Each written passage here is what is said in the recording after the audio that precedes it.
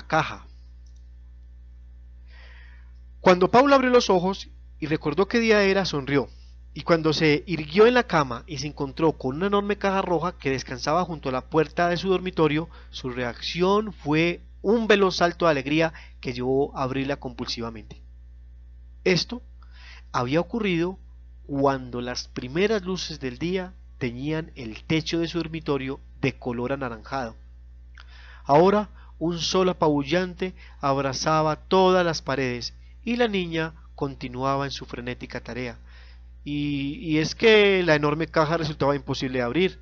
Por mucho que Paula quitara papeles envoltorios, la caja seguía intacta, como si mágicamente debajo de cada empapelado hubiera otro. Eh, la caja era como una enorme cebolla, imposible de pelar, una cebolla de pieles naranjas, azules, violetas, con barquitos, con muñequitas, con fruticas. El piso del dormitorio era una inmensa madeja de papel sobre el que flotaba la niña, aferrada a la enorme caja, como se aferra un marinero al mastil de su barco a punto de naufragar. Paula tenía las manos cansadas. La primera ansiedad que le embargaba ya se había evaporado, transformándose en una obsesión rotunda por ver qué había dentro de la caja. A las 3 de la tarde se quedó dormida sobre la caja. Cuando su madre entró al dormitorio, se acercó a su niña y la acostó delicadamente en la cama. Pero cuando volvió al cabo de unas horas, su pequeña estaba nuevamente sumida en la exacta tarea. Su madre se le acercó para entregar un pequeño obsequio que le había comprado especialmente para ella, pero Paula no podía pensar en nada. Ya no le importaba que fuera el día de su cumpleaños, que estuviera cumpliendo 10 años, solo quería saber qué había dentro de esa caja. Con el correr de los días, la obsesión de la niña creció a tal punto que incluso sus padres se vieron cautivos en ella. Lo más llamativo de todo era que nadie sabía quién había puesto esa caja en ese lugar.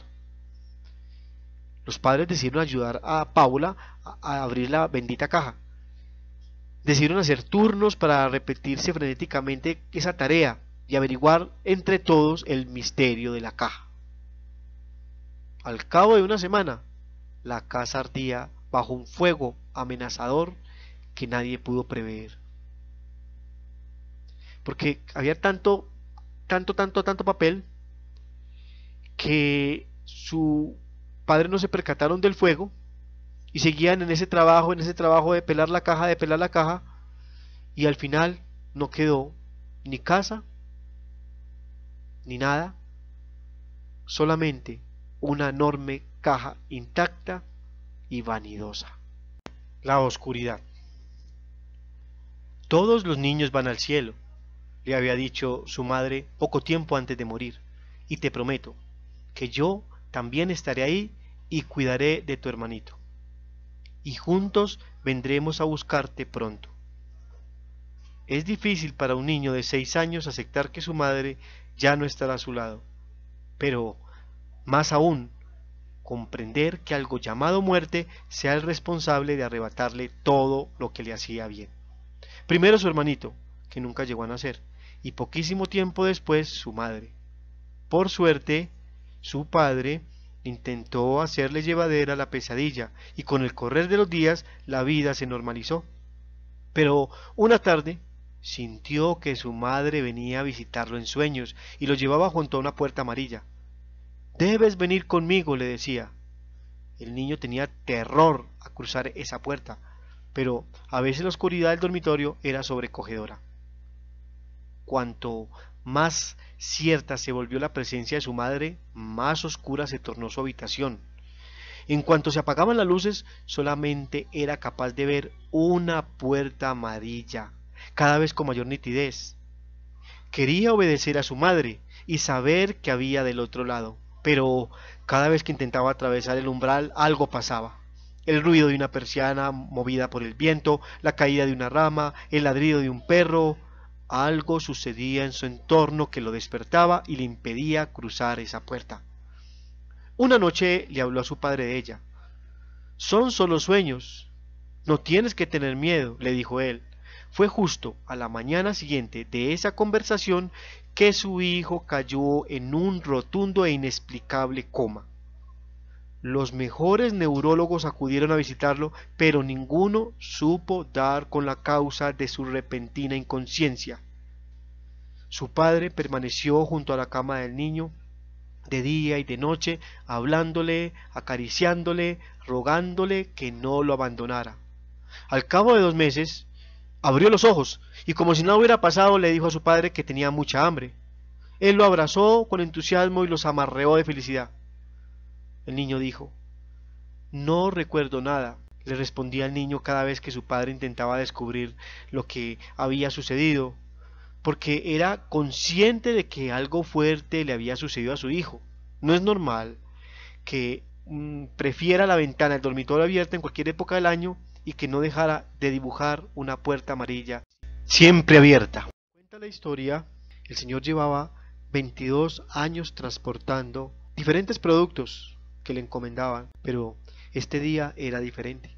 Había acabado de pasar una tormenta. Él había tenido que parar su camión para de pronto no estrellarse. Ya lo que quedaba de la carretera era penumbra, neblina. Para no cometer una imprudencia, el señor iba un poco despacio. Cuando él ve a su mano izquierda y se da cuenta que hay como una persona que trata de ponerle la mano para que la ayude. Él frena su camión y cuando frena su camión eh, corre hacia la ventana a ver qué es lo que sucede y no se da cuenta que, no había absolutamente nadie. Continúa su camino y medio kilómetro más adelante lo mismo. Es como la misma persona que trata de pararle, de, hacerlo parar para que como que lo ayude. Es como levantando las manos para que lo ayude. Sucede exactamente lo mismo. Cuando va a indagar no hay absolutamente nadie. Él, un hombre ya conocedor de todas esas carreteras solitarias, se dice a sí mismo, eh, no tengo por qué tener miedo. Muchas oportunidades ya me han asustado. Pero no, no han sido espantos ni, ni fantasmas. Simplemente ha sido una vaca, un ternero, un venado, Inclusive un tronco que pasa uno que con el cansancio y la noche y la madrugada siempre ve lo que no quiere ver y escucha lo que no quiere oír. Sigue su camino cuando estaba ensimismado en sus mismos pensamientos y ve a una mujer en camisilla que trata de pararlo. Esta vez no era una mujer fantasmagórica, no era una mujer de ilusión, no era una vaca, no era un ternero, era una persona. Era una mujer muy joven. Él frena su camión y la mujer le dice que si la puede ayudar. El hombre le pregunta que por qué está en ese lugar. Entonces ella dice que fue que unos amigos la dejaron botada en ese lugar, que tuvo una discusión con ellos, que iban en su auto, pero que la dejaron botada en ese lugar. El señor dice, pues súbase. Se sube al camión y se da cuenta que la mujer está muy pero muy fría. Más fría de lo que debiera estar dado al clima. Le pasa una chaqueta y le indica que en un termo que tiene junto a él hay un poco de café. La chica por unos minutos no habla nada hasta que el conductor rompe el hielo y le dice ¿Cómo te llamas? Ella le responde Me llamo Luz Marina. Luz Marina, bonito nombre.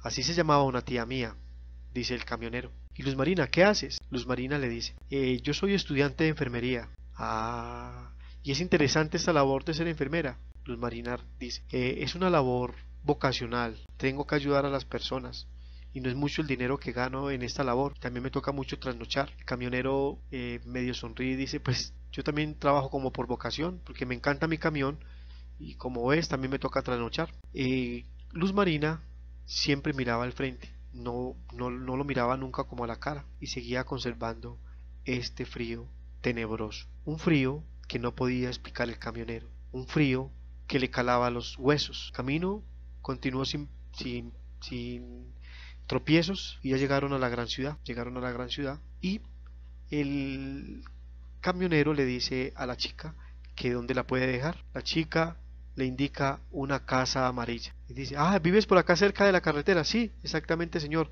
Vivo acá. Sí, vivo acá, vivo acá con mis padres. Y, y sí, me queda muy cerca de la carretera. Señor, muchas gracias. Y la chica baja del camión y trata de devolverle la chaqueta, pero el camionero le dice, no, no, no, tranquila, mira, me has caído muy bien y creo que seremos amigos. Así que una tarde o una noche de estas pasaré por tu casa, recogeré la chaqueta y nos tomaremos un, un café. Luz Marina ríe tímidamente y el camionero ve cómo cruza la gran carretera y llega hasta una casa amarilla. Eh, abre la puerta mira, se despide y cierra la puerta tras de ella. El camionero continúa su camino y pues ya han pasado siete días desde la vez que dejó a la chica en la casa y ya es otro momento, otro clima y otro horario. Está llegando en el mismo recorrido a las 7 de la noche a ese mismo lugar donde dejó a la chica. Apenas ve la casa amarilla, recuerda su chaqueta y recuerda a la chica. Pues le pareció como, como interesante la chica, enfermera, ¿sí? educada. Aparca su camión, pues eh, la casa de la chica quedaba en la otra vía. Aparca el camión en este lado, pasa la carretera, toca la puerta y pregunta por ella. Abre una señora de unos 62 años de edad. En el fondo de la casa se ve un señor en silla de ruedas. Y dice, buenas noches, buenas noches señor, ¿en qué le puedo ayudar? Y puedo... Le pregunto, la, la chica Luz Marina. ¿Luz Marina? ¿Luz Marina dice? Sí, señor, eh, Luz Marina. Señor, dice la señora muy aterrada. Señor, ¿es una broma? ¿Es una broma, señor? ¿Usted está preguntando por Luz Marina? ¿Por nuestra Luz Marina? Señora, sí, estoy preguntando por Luz Marina. ¿Y usted qué sabe de Luz Marina? le dice la señora. ¿Usted acaso no sabe que nuestra Luz Marina hace seis años que nos abandonó? Hace seis años que fue brutalmente atropellada por un camionero en esa autopista? Hace seis años que nos dejó solos a su padre y a mí. Señor, ¿es una broma? El camionero se queda en una sola pieza y dice, señora, no puede ser, no puede ser. Eh, yo recogí una chica, una chica la, la recogí en la carretera, me dijo que se llamaba Luz Marina, le presté una chaqueta, entró a esta casa. Señor, por favor, no juegue con nosotros, no juegue con nosotros. La señora se pone a llorar en ese instante y, dice que no ha podido olvidar a su hija. El señor le sigue preguntando, es imposible, es imposible. Ella entró aquí, la señora, como para que él comprenda que es verdad. Y Señor, siga nuestra casa, siga nuestra casa. Lo lleva a la sala de la casa y le muestra una foto. Y efectivamente, ahí estaba esa chica, Luz Marina,